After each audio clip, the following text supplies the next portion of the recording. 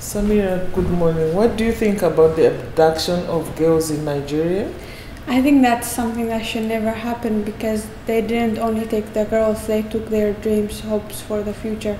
These girls would become a lawyer or doctor or anything that they wanted to be. But now they can't be because they're somewhere in the world and they're scared and So, what do you think should be done?